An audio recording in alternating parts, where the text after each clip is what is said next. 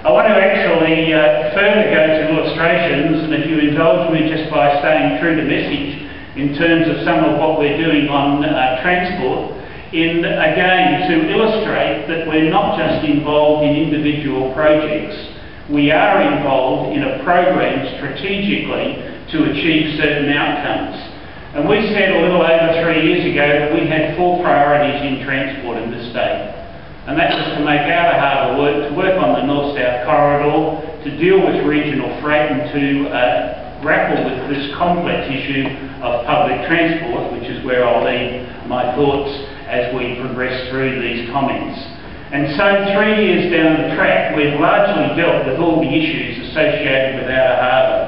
We've deepened the channel, we've uh, been involved with Dubai ports for extensions to the container terminal, more to come. There's a new grain terminal with ABB Grain, there's a new grain wharf being built. We put another 20 or so million into upgrading the corridor. We've had the um, first stage of the uh, Port River Expressway complete and we opened on August the 1st the uh, new bridges, road and rail bridges over the Port River. Over $500 million worth of infrastructure, public and private money, Commonwealth and state money, all working towards the same objective to get access to Outer Harbour and make Outer Harbour work as a port for South Australians. Our second priority, the North-South Corridor.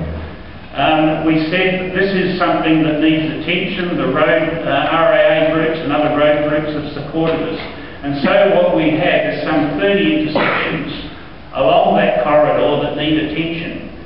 We have started with the intersection known as South Road Anzac Highway, and if you can't read the detail, you can see why we started with it, because it's the one that reaches to the top of the page. That's the delays with each of the intersections along the South Road corridor. You can see why we started with Anzac Highway and we are now well advanced on the Anzac Highway underpass. We will be returning traffic to the full width of Anzac Highway over the next week or so. We'll have traffic going through the new underpass sometime mid next year and uh, we'll have the project completed towards the end of next year.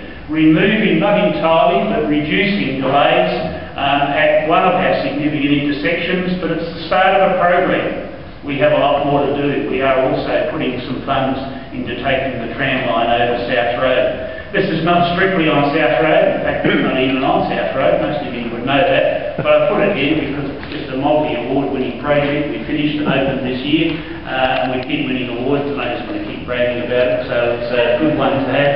Uh, on the agenda, on time, on budget, it's got the Civil Constructors State and National Awards, the Project Manager State Award, the uh, First, uh, the high commendation of the Project Manager's National Award, which means we were the first loser. And uh, we've got the Engineer State Awards and the Engineers National Awards are about two weeks away. But regional freight was our third priority and Northern Expressway is our biggest road project ever.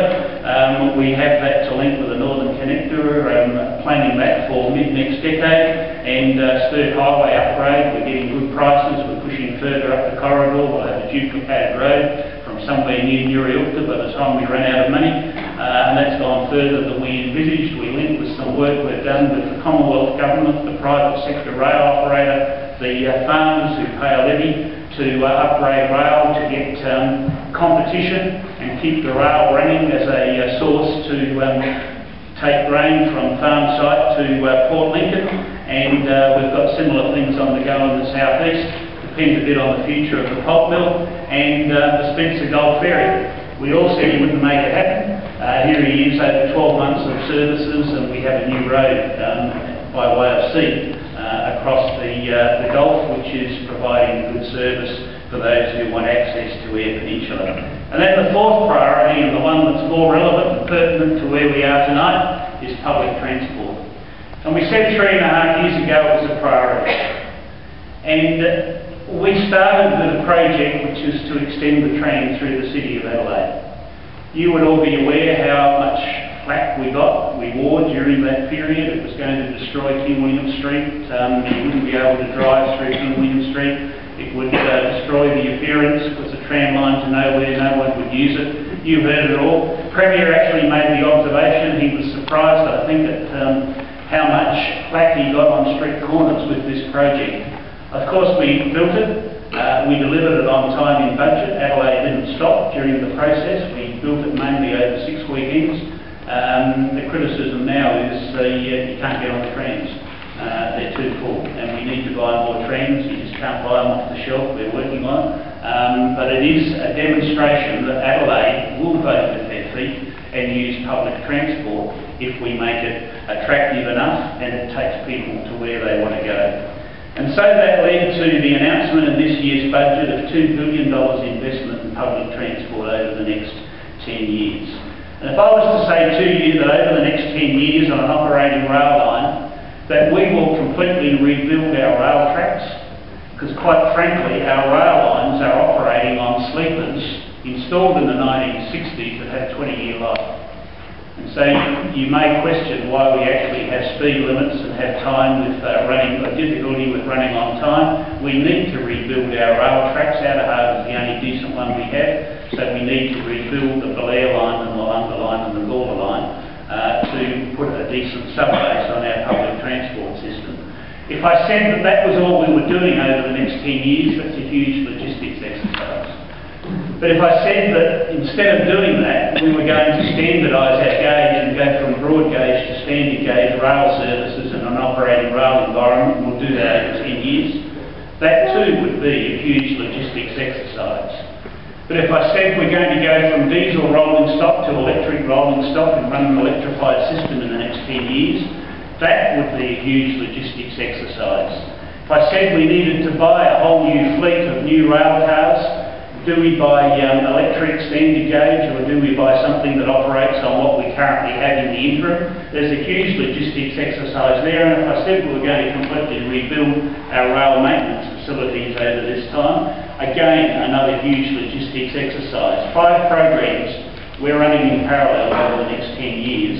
We have a huge task ahead of us to deliver that. So we are putting out tracks on concrete sleepers we are standardising the system, we are electrifying the rail.